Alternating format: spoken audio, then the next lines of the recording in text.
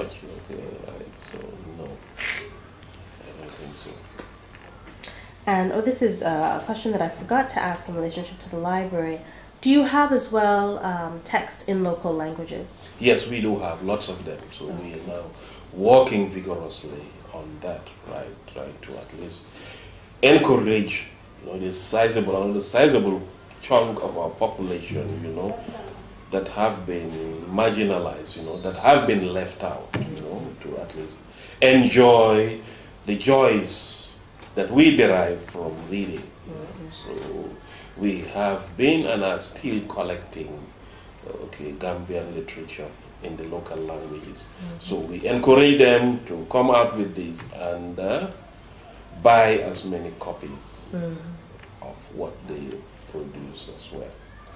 And do you find that there are increasing numbers of texts in the local languages? Oh yes, there are increasing numbers. It is amazing. Yes, there are increasing numbers, especially by these local NGOs. One thing specifically of BAFROW, they are very, very prominent in various types of literature, especially literature like on um, women's issues, on women's health. You know, they also come up with stories involved in literacy as well. WEC also, I think it's West African Evangelical Mission or whatever, I think have been pioneers in uh, writing, uh, local language writing, especially in Jola language. Yeah, from the beginning of literacy, right, for the beginners, you know, up to advanced literacy stage, you know.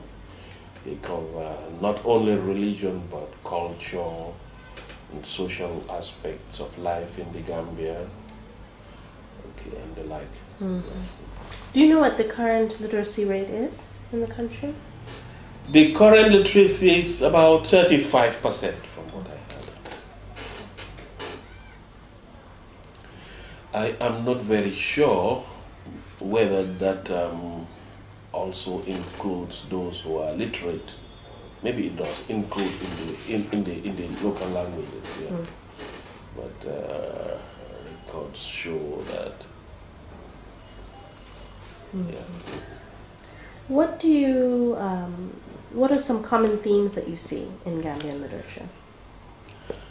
Okay, it's basically like if I start with the Ebou Dibbas, you know, like about life during colonial era, you know, about politics, about social issues currently, about uh, another good one that I read that's by by Sabali, you know, it's about university life, you know, and uh, escapism, like especially escapism, about you know enlightening the, enlightening them about the harmful effects of drugs, about um, harmful practices against women, you know, and the like. Yeah, I think those are basically okay. And what would you say is the relationship between Gambian literature and the literature of the African continent as a whole? Yeah, it's uh, basically the same because you will find that the social issues, the political situations are basically, you know, the same. You know, like you can read a book that is published, say, for instance, in, in Uganda, and then try connect them with what happens here in the in the Gambia. Like there was an interesting book, I think, by uh, by a Kenyan, which I thought was even quoted like in a poem by um, Sallah, by Sallah, Dr. Sallah, Tijan Sallah, the eh? word, you know, Wabenzi. You know, we had here something like this. Wabenzi, that was like, you know, the elite who are coming up, you know, the social climbers who are coming up, called Wabenzi. Like, those are people that had Mercedes Benzes and the like. So we had something like that, you know. In our local language as well, it could also sound the same, like Wabenzi, you know, Borom Benzi, you know, and the like. So basically, uh, the issues are the same, the conditions, you know, are the same. I think that explains the popularity of these um, pace setters, the Macmillan pace setters, you know, mm. which we cannot have enough of, you mm. know, they just go like hotcakes to such an extent that, you know, we have to exercise extra control, otherwise, you know, we would not get them again, you know, people will take them and um, exchange them, you know, amongst their friends and the like, uh, or even keep them, you know, because of, you know, uh, maybe uh, the dearth of interesting reading material, you know, of that genre. Mm -hmm. Think we are seeing that we've noticed that we talk a lot that um, there is an absence of reading culture, but I don't believe that. I don't subscribe to that. If you have interesting books, they say, give the people what they want. It's just like music or whatever, you know. Find out what they want, let them know that it is available, then they would consume them. They would consume them. It's a matter of availability. Mm -hmm. And when you say kind of give the people what they want and people are looking for interesting books. Mm-hmm. Can you talk a little bit more about what that might what that might mean? What what a book would be about that would be interesting for Okay, books that have backgrounds that they can relate to easily, cultural backgrounds that they can easily relate to. Books that talk about issues, you know, that affect them, you know, in the country. Books that they wanted, you know, especially, you know, like um, ladies that come to the library, they want romances, for instance, you know, not so much, you know, into the serious stuff, you know, you call the historical pulp fiction and the like. That is what they want. Um, there is no need to emphasize on like the classics and the like. If it's short, simple, or even if it's children's book, yeah, that's what we go for gave it to them. Maybe from that, they would develop to reading, you know, more serious books, you know, more advanced, more advanced books. Yeah. Mm-hmm. And who, what authors or what texts particularly would you say represent the best of Gambian writing? Um, I would, Ebou Dibba is one of them. You got Fafa, for instance um, Nana Grey-Johnson's, like the Magic Calabash and the Eye of Ebony. Um, what else is it? Ah, okay. Another book, yeah, it's not fiction, but which I, um, which I really enjoyed reading, and I'm sure lots of Gambia did enjoy reading. The book by uh, Sabali, Jangi Jollof, I think. -hmm. And the best so far, which I can never maybe stop wanting to read, Meet Me in Conakry by. Uh, Is it Sarr? Yes, Sheriff Sarr. Mm -hmm. I think that has been a classic. Mm -hmm. Really, has been in great demand, not only in the Gambia, but I think throughout Africa. Mm throughout Africa. It's an adventure book which, yeah, children and young people of a certain age really can really um, identify with. I think, yes, it might be pulp fiction or whatever, but I think it's very good. Mm -hmm. It's very, very, very good, very relevant. Yeah. And would you? Are there any um, promising younger writers that you're seeing coming up? Yes, I see uh, Mariama Khan, Bamba Khan. Mm -hmm. Mm -hmm. And uh, Sally Singhateh as well. Mm -hmm.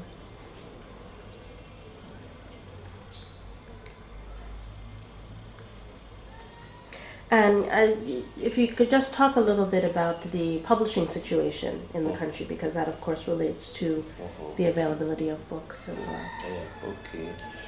Like um, the publishing situation, like I said, cannot be described as being very developed, but it is still developing.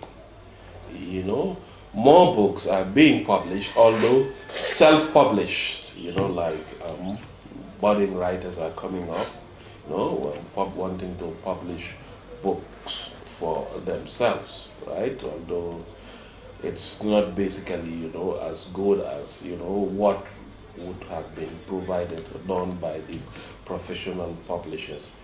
But again, some publishers, Gambian publishers, are also coming up, you know, good publishers.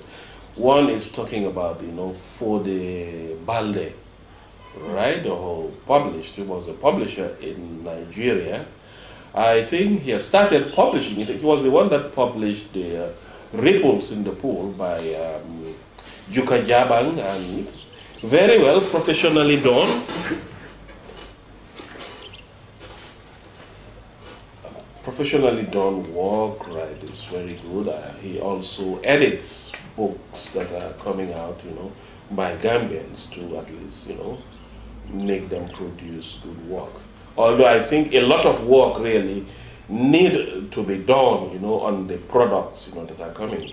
It is good to have, you know, Gambian writing, but at least they should try as much as possible, you know, to conform, you know, to international standards. But thankfully, like I said, now that you know experienced publishers, you know, Gambian publishers have come up, I think uh, the situation is uh, going to improve, you know, a bit. But books are coming out. Mm-hmm. People are really coming out with books. Um, especially, I know this from you know the applications that I made for the ISBN, that is the International Standard Book Number numbering. We at the National Library, you know, are the uh, national agency for the ISBN. Like, you know, we are always inundated, you know, by uh, demands for, up, uh, for these ISBNs, you know, for books that are to come out, you know, by, you know, individual budding, you know, Gambian writers and the like. So they are coming up really with mm -hmm. these books textbooks especially are also coming up, you know. Many people are coming up, you know, say that um, they want to publish textbooks and the like. So, especially last year, oh yes, um, yes, I was impressed, you know, by the number of books that were published last year because, you'd say, we were invited, you know, to attend uh, a lot of, you know, maybe book launching, you know, maybe. Perhaps not as great, you know, this year, but last year, particularly, yeah, yes, I was impressed by the large number of books that were being launched, published in the Gambia. Mm -hmm. You talked about Gambian literature more than once as being in a state of development. Mm. So, is there anything that you see that that the literature needs in order to boost that development or promote that development? Yeah, they would need perhaps maybe those who are writing the literature need to be trained or trained in book production, you know, what to do, what to cater for, what to take on board, you know, working especially with you know, editors you know, and the like. So they really need to do, I think, their homework as to what constitutes a book and relevant, a good and relevant book. They need to do a lot of research as well. It's not just, you know, on, you know, what they think, their experiences and the like. Do real research you know, heavy research on, you know, especially themes, you know, that um, that they are trying to portray, you know, in the books that they write. And what, um, if anything, does the National Library need to continue to be uh, an important part of the country? One, the National Library needs to be strengthened, especially by the central government we need to be given the resources, like one trained staff, like equipment, computers, okay, and the like. So we really need to be strengthened to be able to at least better serve the people that uh, we are supposed to serve. And uh, finally, what do you see? What do you think the role of literature is in Gambian society? And then whether or not that's the same as what the role of literature should be in Gambian society. Yeah, this very literature, I think um, its role should really be, you know, to enlighten, you know, to enlighten people, you know, to um, develop their knowledge of life, to um, increase their understanding, um, their ability, you know, to cope with life situations in the country, and uh, thinking to become a thinking nation, like a reading nation. They should be a reading nation, I believe, you know, is a developed nation. So we need literature. You know, we need to read because we do not read, at least to get rid of ignorance. And to get rid of ignorance, one really needs a lot of literature because ignorance, I think, is the cause of most of these evils on the life. So to avert that, I think the need for literature cannot be overemphasized. We really need that. We need it also to be uh, inventive, you know, to be more creative. We need creativity, and you can get that a lot by, you know, reading, you know, empathizing with writers, you know, because it talks about, you know, the experience of writers, you know, where with um, situations, you know, how they have been able to overcome, to conquer, you know, maybe certain challenges, you know, that um, uh, confronted them, you know, in life and the like. So I think we really need literature to fight, to better fight ignorance, in fight, you know, poverty. Because with reading, one develops, there for personal development, one really develops oneself. Mm. So literature is needed for personal development, for social development as well. Mm. Yes, I agree. Um, well, these are all of my questions. Is there anything I didn't ask or anything that you want to say as well? Yeah. Yes, I guess. Um, yeah. Yes, I guess you have. At least for the time being, you asked uh, the right questions. Okay. Uh, what I thought were the right questions. All right. Yeah. Well, thank you very much for your time. Thank you very much. It's been my pleasure. I hope um, the interview would be useful in your work. I am sure it will.